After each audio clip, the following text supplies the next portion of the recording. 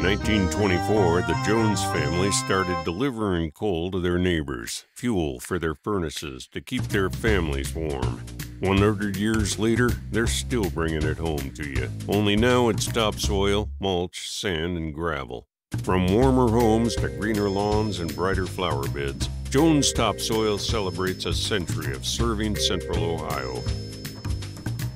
Jones Topsoil brings it home to you. Order online, jonestopsoil.com.